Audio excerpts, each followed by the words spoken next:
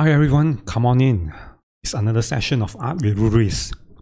So you, if you are watching this, I hope you come from the dForce and animation part 1 where I describe how I create the scene cloudy with a chance of pants using the Thrash the Room, the dForce trash derome set. So in this video, I will talk about how is my, how did I render and compile the the short clip which I show you over here.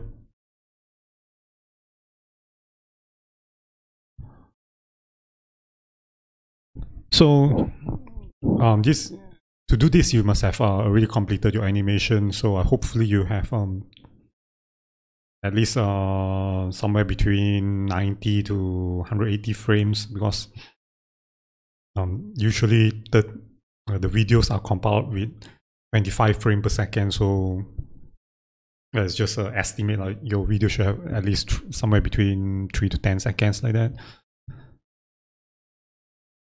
Yeah so let's take a look at my render setting.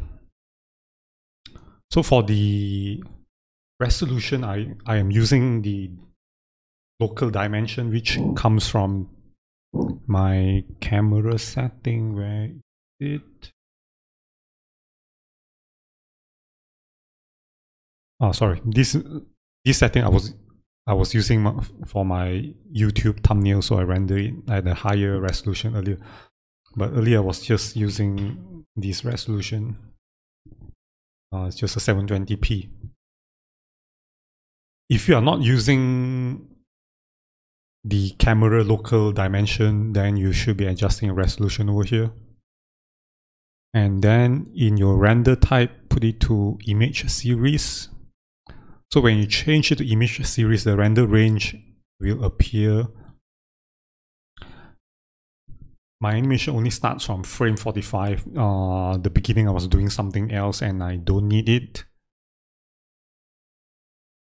And also in the filtering i was earlier I enabled the post denoiser and then I set it at, at uh, the iteration 500 because I I gave it a hard maximum of 500 so that the frames each frame don't take forever to render. Else the default one which is 3000 and it will be either you reach 3000 or 95% whichever came first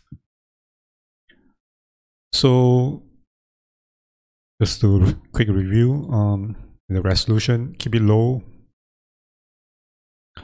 May want to change this thing to a to a hard constant. Just give it a try first. Just just render one frame and see how long it takes. Um, it shouldn't take more than ten minutes, so that you don't have to render all night and and this thing is a bit of a throw up for me. Normally, I use the denoiser on a really high resolution, like 4000 times 3000, and it will look quite nice. But for a low resolution video, it may have a detrimental effect. So what I did was, um, you need this program as well. It up. Yeah, you need to download this FFmpeg pack because what will happen when you render is you will get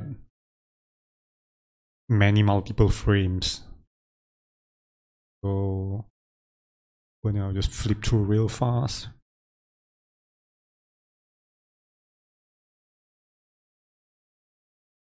So to join all this image up, you need um, FFmpeg to do it for you. So this program don't come with a GUI, so you cannot just click and stuff. You need to actually know what you are doing.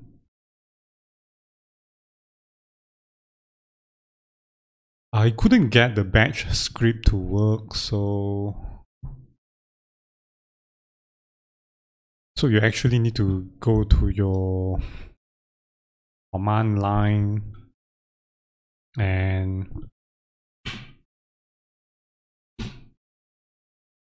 and then you go to like cd ffmpeg cdb c dash. Yeah you need to type all this stuff over here. So just so this is the command line i use i start from the number 1045 which is the first render image. And this percentage d is some kind of wildcard so if you want the full reference you can go over here so as you can see these are some of the instruction some of the samples that you can follow and you should be able to compile so once it's done,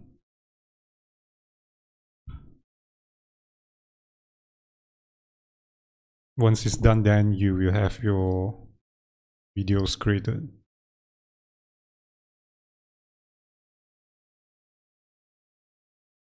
Okay, so I hope uh, all these steps are not too arcane and if you have any question, please leave it in the comment. I will get back to you. Thanks for watching and, and I hope you subscribe.